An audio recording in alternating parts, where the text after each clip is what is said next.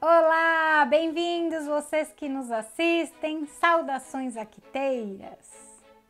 E hoje nós vamos falar sobre o reconhecimento instintivo dos intrusos, como os akitas reconhecem os intrusos. Bom, gente, vocês sabem meu mantra, né? O todo akita equilibrado tem reconhecimento instintivo do tutor, do amigo do tutor, do estranho e do intruso.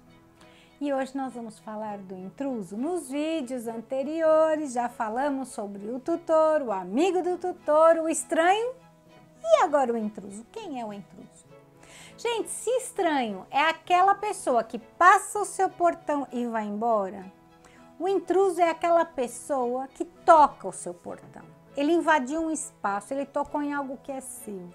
É a pessoa que toca num bem material seu e ele sentiu que houve uma invasão de espaço. Ou é a pessoa que é estranha e que chega e vai te cumprimentar e ele não gosta. Porque é diferente, né, gente? O amigo, quando chega, a gente, ah, Fulano, tudo bem, a gente tá alegre, feliz, contente, em geral é assim. E até quando a gente tá triste, o amigo chega, a nossa alma acalenta a nossa alma alivia, porque a gente vai aliviar o fardo, vai aliviar a dor e o cão percebe isso. Então, o intruso é sempre aquela pessoa que invade o espaço.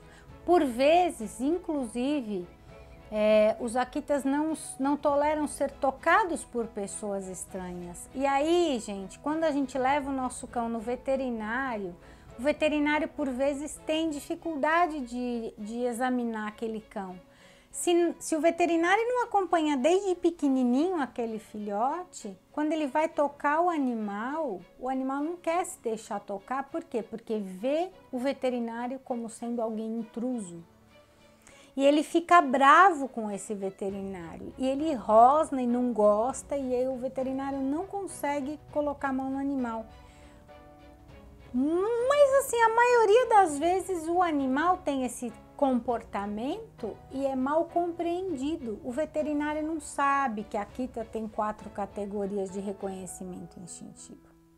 E não sabe que na hora que ele vai pôr a mão nesse animal que já está fragilizado, por vezes não foi só tomar vacina, por vezes está com algum problema, e se o animal tiver fragilizado por alguma questão de saúde, mais bravo ele pode ficar ainda, porque além de tudo ele está se sentindo fragilizado e aí há um equívoco.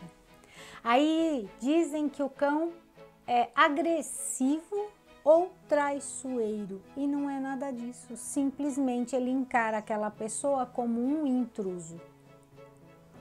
Então, o Akita, nesses quatro reconhecimentos instintivos é apenas ao intruso, aquilo que ele considera uma invasão de espaço, de espaço, é que ele vai ter a chance de querer atacar.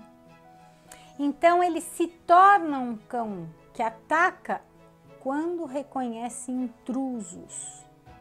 Então nós temos que ter isso bem claro quando ele sentiu que é um intruso. Então, gente, existem situações que às vezes no dia a dia a gente, a gente não, não presta muito atenção de que acabou promovendo uma situação onde gerou um risco para os, as pessoas que até frequentam nossa casa por vezes. Por quê?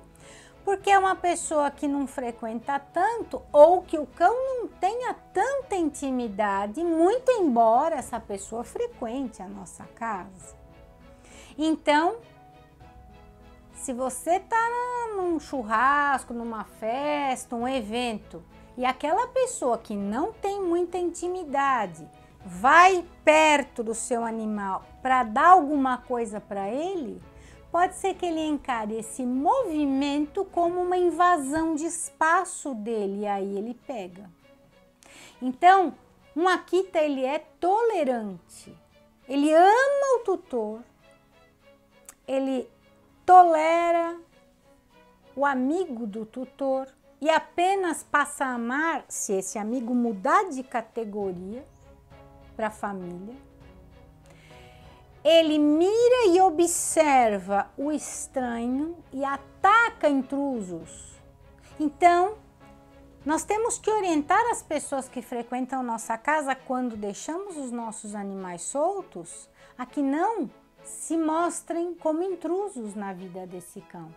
E por vezes, gente, a pessoa frequentar a nossa casa e o animal não tolerar aquela pessoa, ele não significa que ele vai atacar aquela pessoa o tempo todo, mas significa que existe a possibilidade caso ela se torne na visão dele um intruso.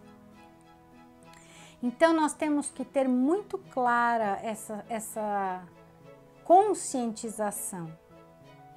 Às vezes você fala, oh, as crianças amigos dos meus filhos vêm brincar. Sim, os meus filhos pequenos brincavam com os amigos e os cães estavam soltos, os amiguinhos brincavam lá.